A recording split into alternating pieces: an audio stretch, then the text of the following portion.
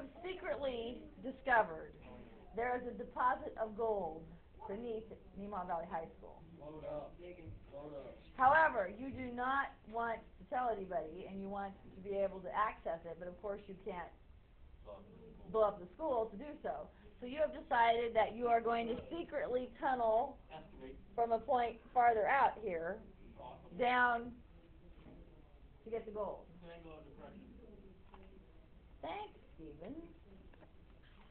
If your tunnel turns out it's going to be 62 feet long, I want to know what is the angle of depression you need to be tunneling at. So where would the angle of depression be? It has to be from the horizontal line down. So where's the horizontal line? Yeah, we got ground down. So I'm out to find that angle. So you said we, I was, I'm using, from that angle, what sides am I using? Opposite adjacent, hypotenuse? Hypotenuse. Opposite is thirty-eight and hypotenuse, so yes, they are correct, we would need to use sine. And I'm trying to solve for the angle this time. So if I need to find the angle, I know opposite and hypotenuse. Now, my actually big concern here is, do you remember what you had to do to get your calculator to produce an angle?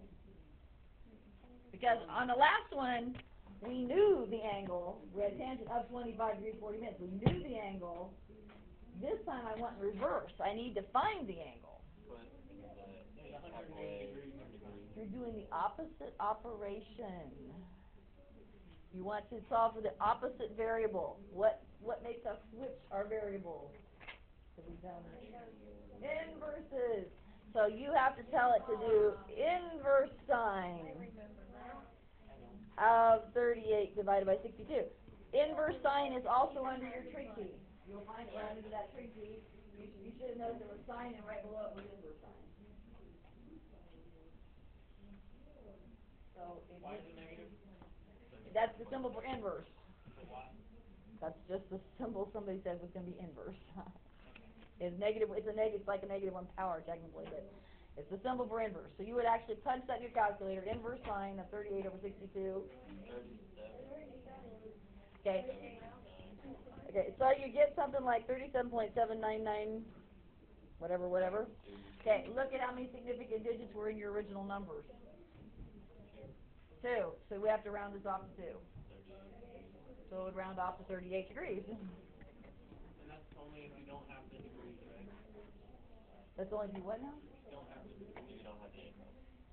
Yeah, yeah, if you don't have the angle, if you're trying to find the angle, you'd use inverse. So.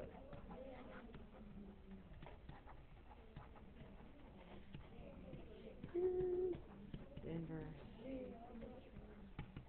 Okay, are we good? All right.